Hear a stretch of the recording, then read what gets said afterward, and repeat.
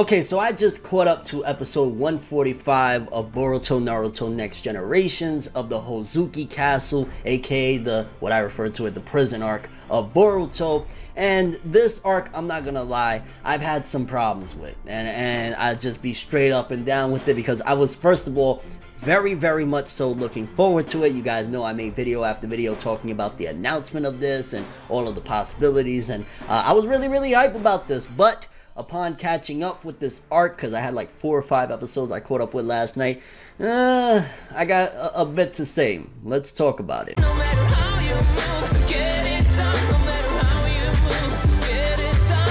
So the highly anticipated Hozuki Castle arc of the Boruto anime. Now again, I was really, really hyped for this because uh, it's supposed to be an expanded version of something that is canon to the manga. In case people don't know, because I've been seeing people say on Twitter, like, oh, how good is it compared to the manga? Right now, all of the episodes we've had of this prison arc, the Hozuki Castle arc, it's still technically filler. It is expanded stuff that is supposed to expand once this escape part or once they get out of the prison. Uh, then it'll be connected to some canonical stuff from the manga. So right now it's still technically filler. It's not actually uh, uh, stuff that was in the manga. So that's already something that is like, uh, I mean, I knew it going into it because the description, I was like, wait a minute, Boruto and them never went to prison in, the manga. What the hell is going on here? So I, I, still was giving it the benefit of the doubt, like, hey, if, if it's going to be uh, connecting and expanding on an idea from the manga and, and adding an extra setting that we didn't have and different circumstances, cool shit. Let's see what they do with it. So I remember I watched like the first two episodes of it,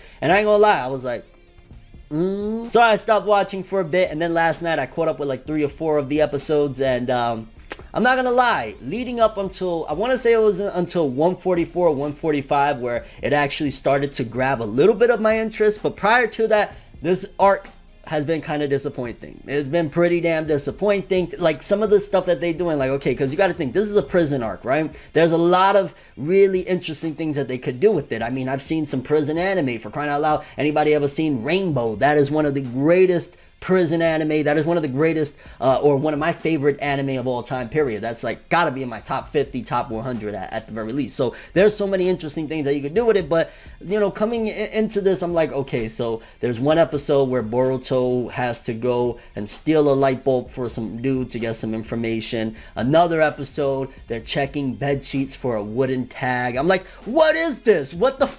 Like, don't get me wrong, we have the setting set up, right? We have that they are essentially infiltrating this. They're pretending to be prisoners so that they could protect this guy, Kokuri, who is essentially innocent and really doesn't have ties with the Mujina bandits. Like he supposedly is, you know, part of them, but as we get information on what he really did and what's going on, he's actually just an innocent dude that uh, is in prison for a misunderstanding, essentially, and he wasn't really down with the Mujina bandits. But somebody's trying to assassinate him in there because he allegedly stole money from them and all of that jazz. So it's like, okay, we got an interesting premise here. There's so many things we could do, but it just feels as though like it, it was kind of bland. Like there's a lot of stuff like uh, with Benga, for example, which don't get me wrong, there was a couple moments from like okay, like I think the dude's name was Kazama when he's like whipping Kazama's ass because he won't give him the information on Boruto and them. I'm like oh shit, I, I, and it's not that I'm craving action or, or battles or fights or anything like that, because with this type of circumstance and this setting, there's so many, again, interesting plot lines we can go down, but it just feels as though at the very least, leading up until 144,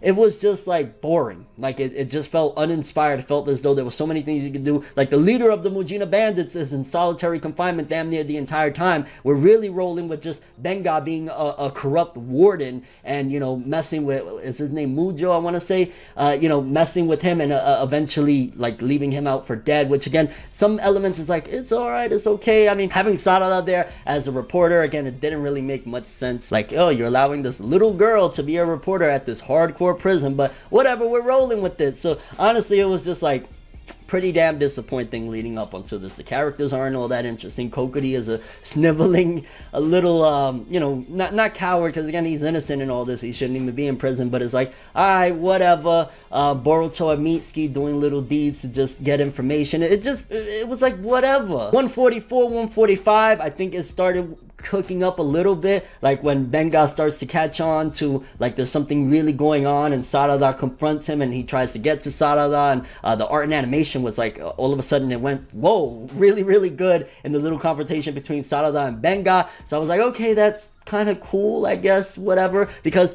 once it gets to that point, they're basically trying to escape from the prison because now they realize that things is getting too corrupt. Uh, Kokuri's not going to be able to get out on parole, so they're basically pushing forward to break out. And Sarada gets caught up in the crossfire, essentially trying to get away from Benga. Which again, I'm like, if you know what's going on in the manga right now, how the like Sarada really? I mean, they try, oh the ground broke or whatever, but she has Sharingan. She's a shinobi. Like, uh, I'm just not a fan of this arc. I'm not gonna lie. Like, even with 144, 145, where again they're trying to get out, they're they're they're making preparations to escape from the prison. We also have that really big dude. I can't even remember his name, but he's kind of an interesting character. Seeing that, I guess it's interesting in a way that they're like showcasing different elements of prison. Like he was looked at as a rat because he was trying to escape, and the stuff that happened with Benga catching his dude and then blaming him and saying that he was a rat, and now him being kind of like I don't want to get involved anymore. Like everybody looks at me as I'm a snitch or a rat. So that was kind of interesting as well well. But just overall, this arc, um, I- am just really waiting for them to get up out of that prison and get to the canon stuff from the manga. And not that, to be honest with you, the Mujina Bandits arc in the manga wasn't the greatest arc in the world, but it was pretty exciting, pretty interesting. And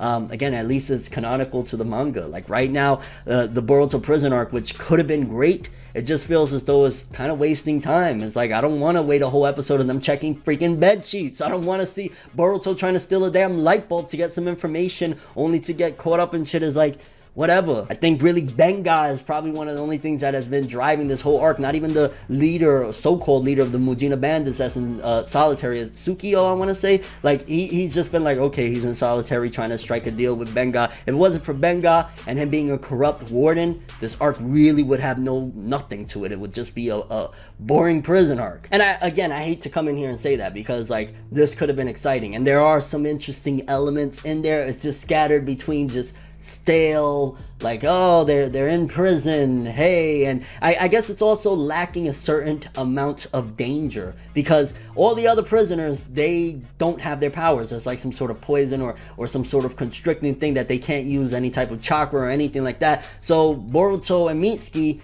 and, and Sarada as well, they can still use jutsu. They're still like they're they're basically like walking overpowered beings in there. So I don't feel as though like there's a threat to them aside from Benga. Like uh, opposed to you know the Blood Prison movie where I want to say Naruto wasn't able to use any of his powers. They had a seal on him that he completely couldn't use any chakra or anything like that. These dudes is like what they got to worry about. Like if Kokuri, Kazama, anybody tries to do anything to them, they'll just bust out some jutsu and whip their ass. So like, where's the threat as well? Uh, on top of the fact that they're in prison, it's like I should be feeling scared for Boruto in these situations. I should be feeling scared for Mitsuki. Only thing that scares me about them is them being locked up behind those bars, which I'm sure they could use some sort of jutsu. Sarada could go and use a fireball jutsu and burn down the fucking bars of the of the cell. Uh, aside from that, it's like what Benga? Like they'll whip Benga's ass. It was just some stupid circumstances why Sarada got trapped. It's like there's no imminent threat right here, uh, aside from these metal bars that they could really get out if they wanted to. So none of the prisoners really can fuck with them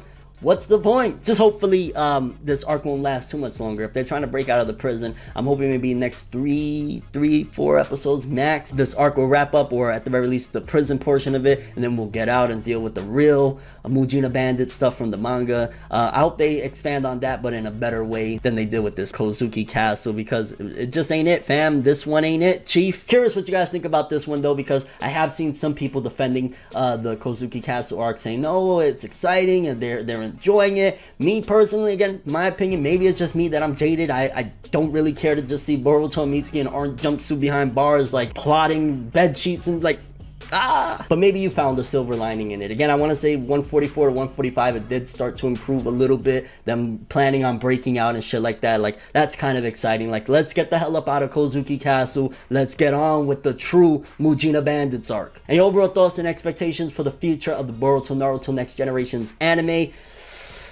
it, it, sucks to say this because again, I remember even when it was announced in like December how hype I was and like, yo, they're gonna put them in a setting, how this is gonna happen. Uh, but with them having their their chakra, with them being able to use jutsu and everything, it just doesn't feel dangerous. It just feels like you putting Superman in, in a normal jail, like the county jail. It's like Nani? I have for this one though. Thanks for watching. Hope you enjoyed. If you liked anything I had to say or enjoyed the video, drop me a like. I'd greatly appreciate it. And if you want more from me, make sure to subscribe. Follow me on Twitter, Instagram. Hit that bell to get all notifications. And if you want to follow any of my other social media, links of course in the description below. I'm for World, and as always, people, have an awesome day. And remember the golden rule. Anime and manga for life, boy.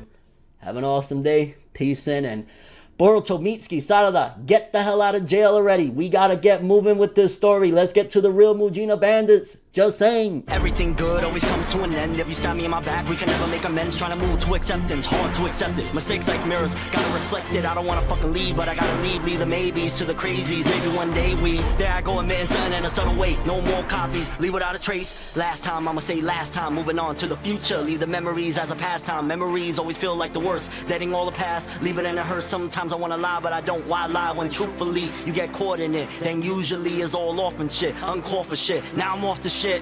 Maybe lately, what I've been facing got me crazy. No, I can't take it. Yeah. Maybe, maybe, maybe.